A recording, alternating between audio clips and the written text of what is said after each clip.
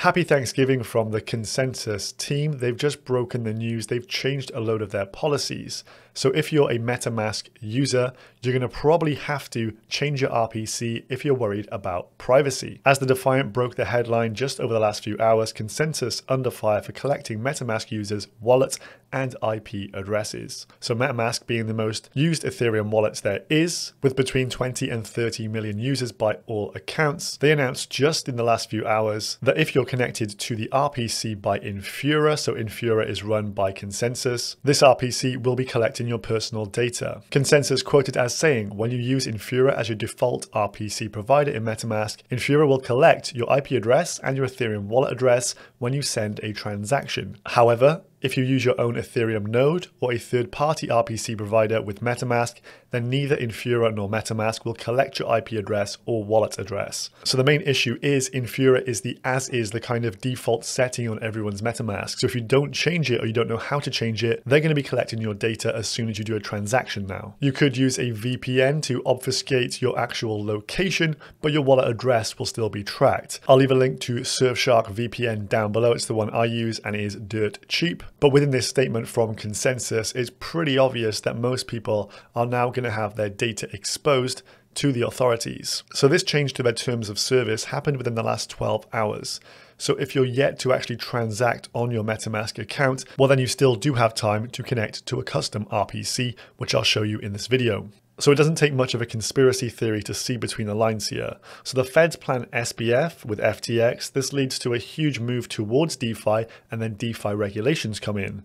Infura and MetaMask team up and the largest RPC provider is Infura. Now these guys start tracking your wallet address and your IP. Is this a coincidence or is it part of a bigger plan? Seems very fishy to me. So changing to a custom RPC for ETH mainnet makes total sense here. If you don't know how to do this, there's a docs page on DeFi Llama, which is pretty handy. Essentially, it is a very simple process. So we'll just go through these steps right now. Where can you find other RPCs? Chainlist.org is a pretty good website here. So you could go on this and select a different RPC. I'm going to use Ankr, so I'll copy that one. So what we need to do is go to our MetaMask icon. And what is easiest is to actually use the expand view, that button there. From here, we're going to go to settings. And then from settings, we're going to go to networks. Yours will probably look like this with ETH mainnet. And then you can see infura.io as the selected RPC. So we need to change this. Note you can't delete, which is kind of a bit spicy here. We need to click on add a network, then add a network manually, and then the network name. I'm just going to call mine Ethereum new RPC. You'll probably want to add a few of these from the Chainlist website, just in case some of these have some lag or something goes wrong with them in the future. Paste in the address, the Ankr one that I just took. Chain ID will be one, and the symbol will be ETH. Then all you have to do is press save. As you can see, I've already added Ankr here to my ETH mainnet 2. So then in your wallet, you can see you've got your ETH mainnet, that'll be the original one, and then you can just go to your second one, whatever you've called it, and that is now the one you want to utilize your Ethereum wallet through. So from the top, you can see ETH mainnet, that is the Infura one, the one I do not want to use, and then we have ETH mainnet 2. So I want to make sure that is connected.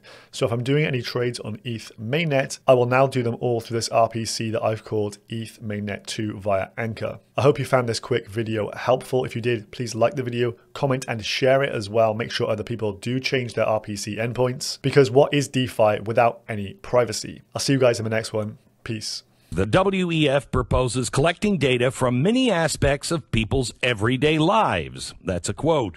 Through their devices, telecommunication networks, and third party service providers. It would allow a digital ID to scoop up data on people's online behavior, purchase history, network usage credit history, biometrics, names, national identity numbers, and medical history.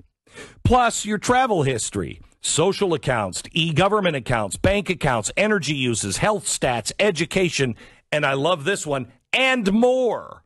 What's left? The WEF proposes using it to decide whether users are allowed to, quote, own and use devices, quote, open bank accounts, quote, carry out online financial transactions, quote, conduct business transaction, quote, access insurance and treatment, still quoting, go through border control between countries or regions, Still quoting, access third party services that rely on social media logins, file taxes, vote, collect benefits, end quote.